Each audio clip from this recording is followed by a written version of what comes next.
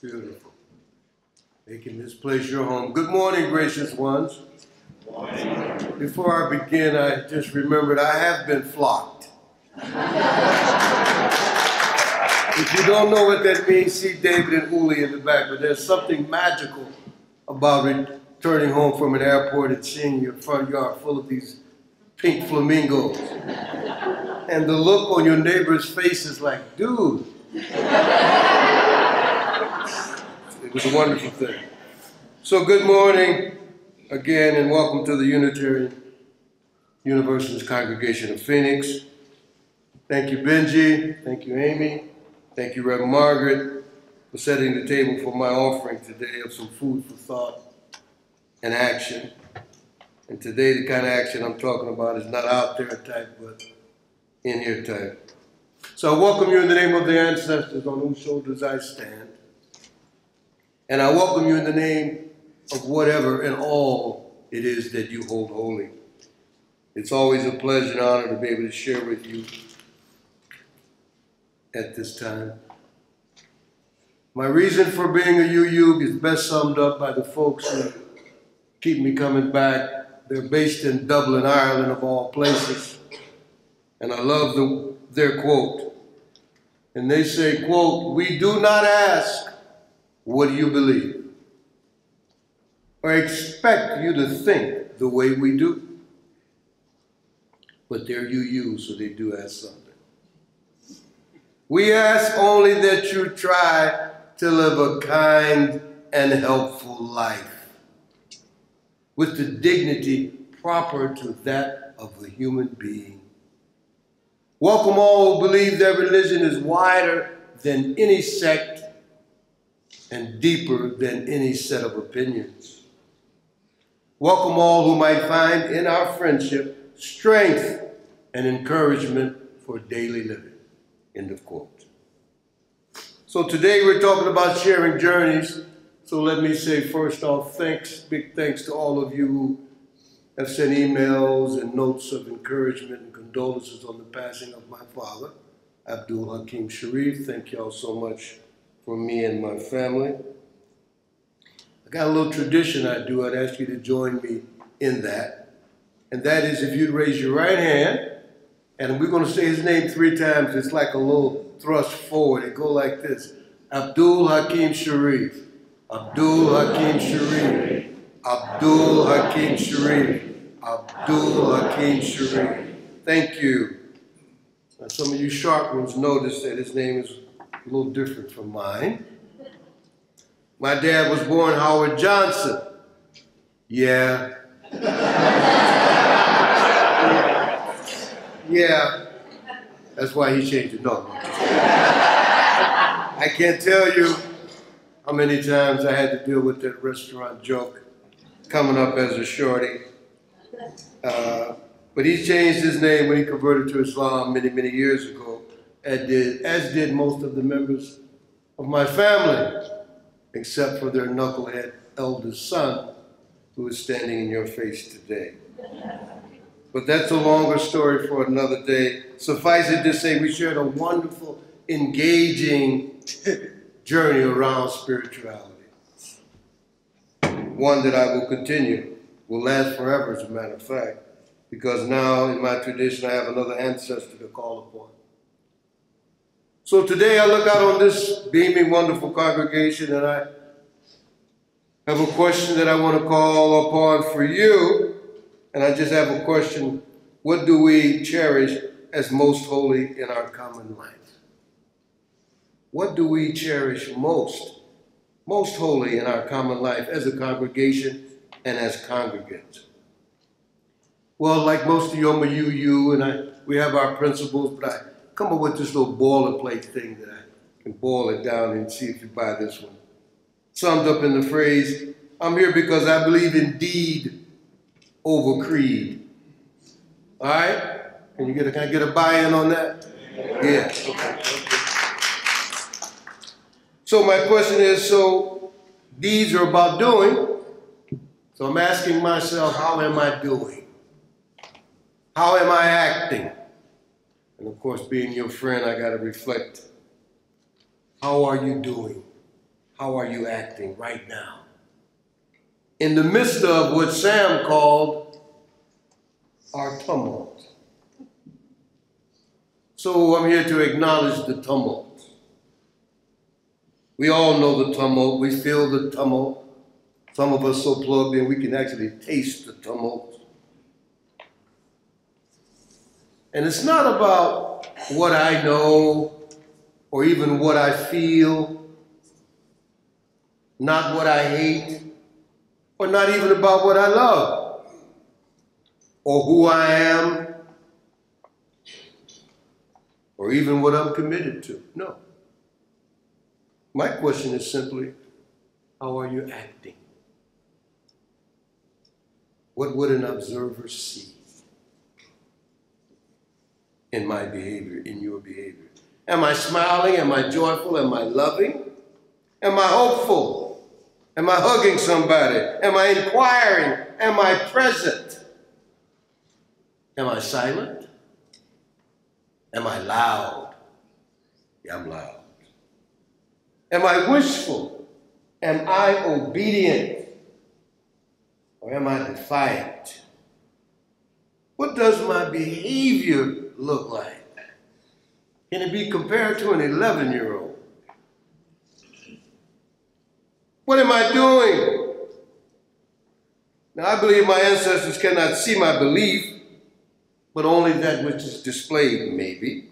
But for sure, your fellow congregants can only see your behavior and my behavior.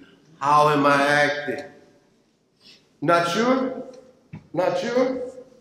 Well, that's okay.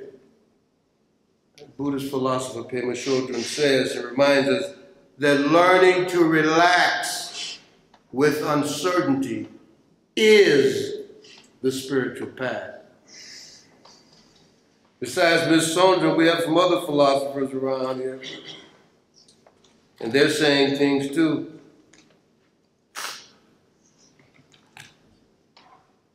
They're saying things like,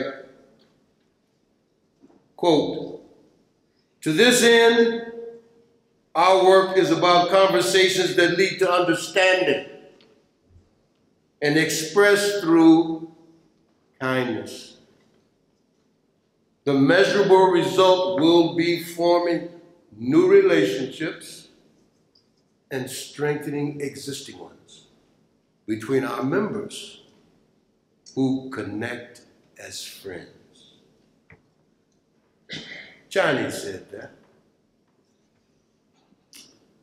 Quote, our covenant recited together as a vision for how we wish to be together.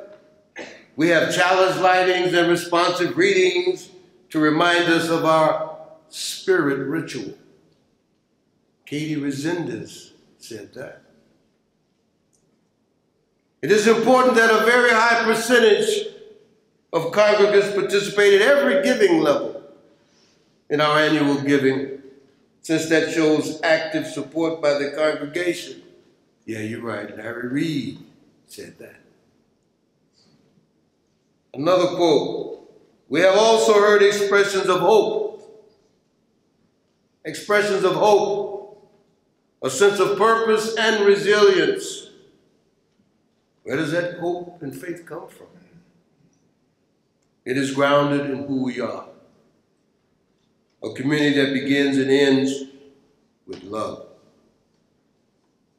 We are people who believe in our souls that every living being, every living being is beautiful.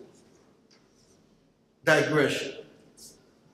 My hope and vision is that the little ones who we dedicated this morning are never asked the question that I was asked, and probably you were asked from the time they were able to walk.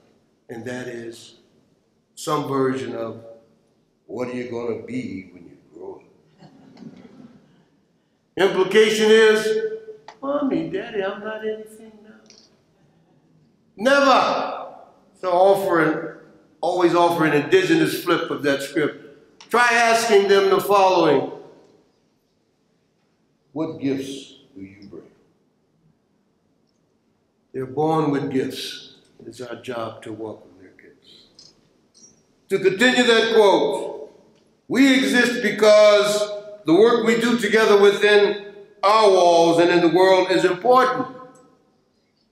We offer the following updates with humility and in the spirit of transparency. We welcome continued input as we could do better. We love you. You're beautiful. Please forgive us. That's what your board said. That's what our board said. End of quote. So there's been a lot of talk about ah that covenant. You know, we read that Margaret clarified it a little bit this morning with that UUA wide covenant. It's listed in our order of services, our chalice, and our covenant. That is not our covenant. It ain't our covenant. Printed in your order of service is our covenant. Ask you to take a peek at that now, if you would. Let's take a peek at that. This is what we have said how we're going to be with one another. This is a commitment that I made to this congregation and hopefully you also. Ah, that covenant.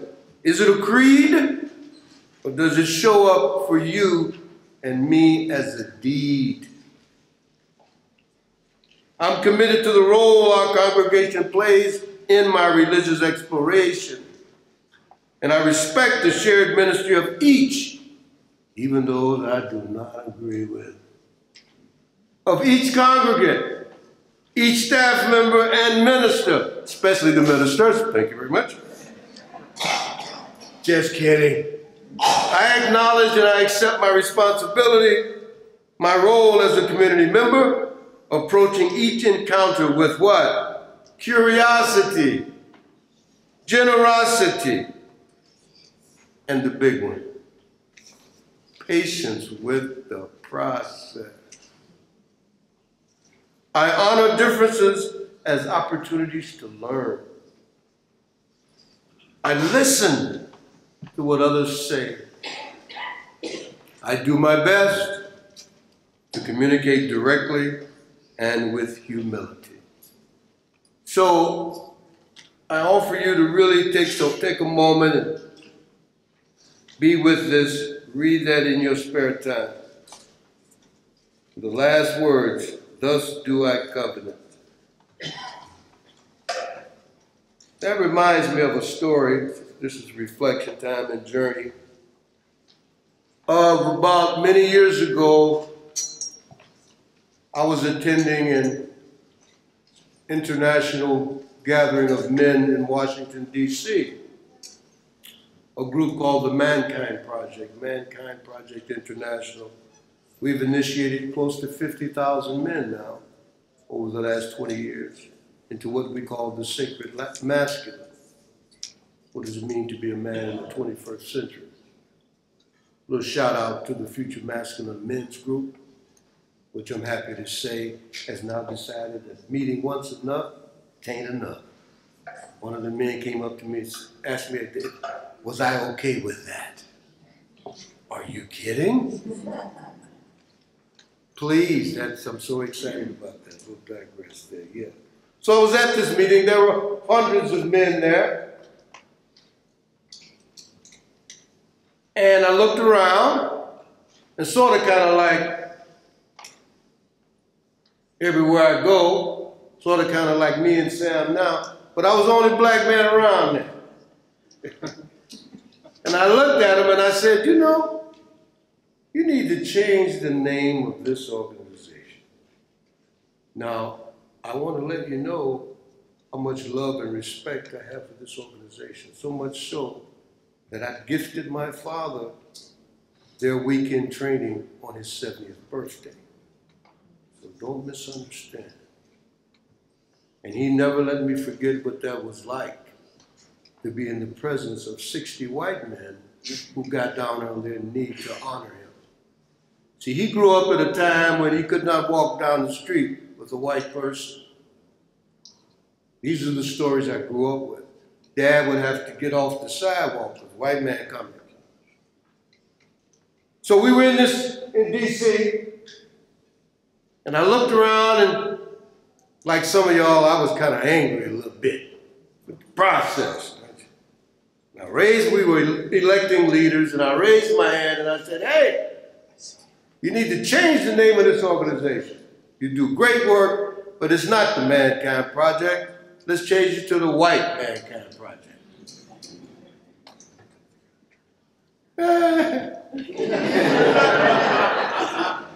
it was kind of obvious to me that's what it looked like.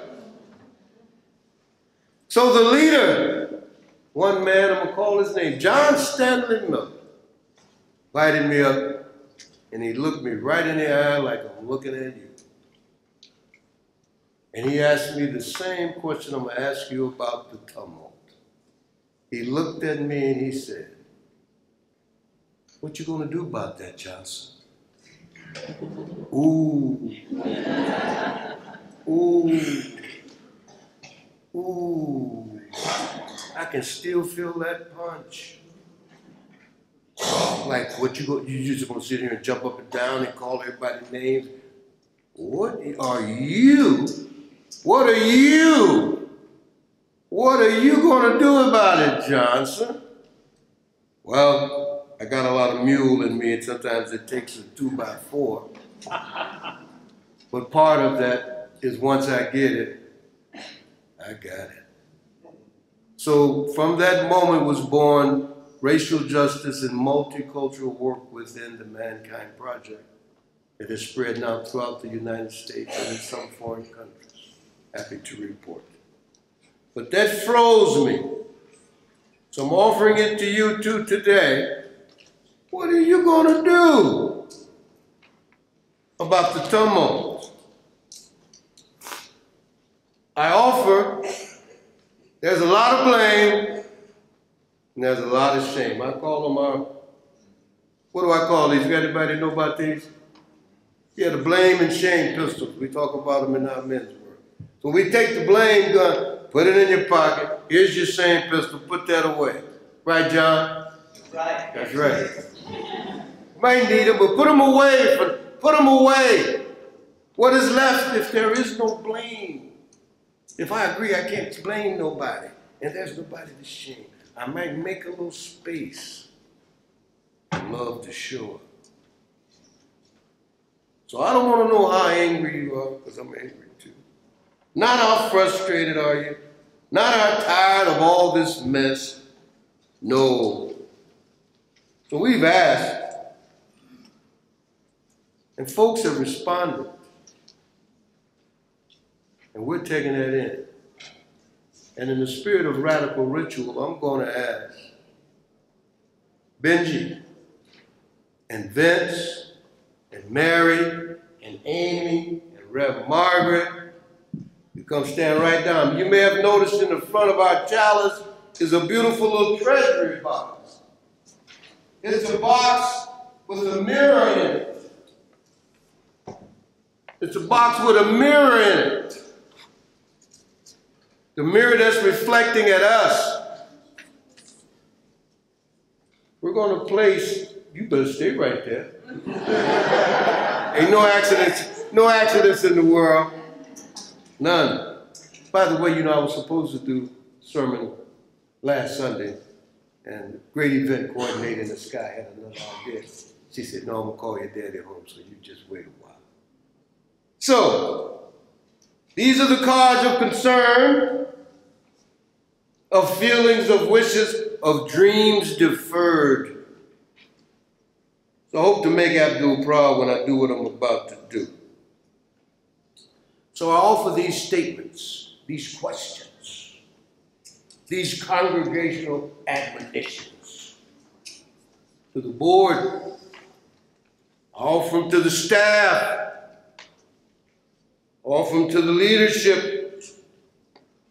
And I ask the congregation to bear witness to the trust that we place in all of these folks and in their position, and also in ourselves, to hold them and ourselves accountable to these questions and admonitions, to cherish them, and to do the right thing. Amen.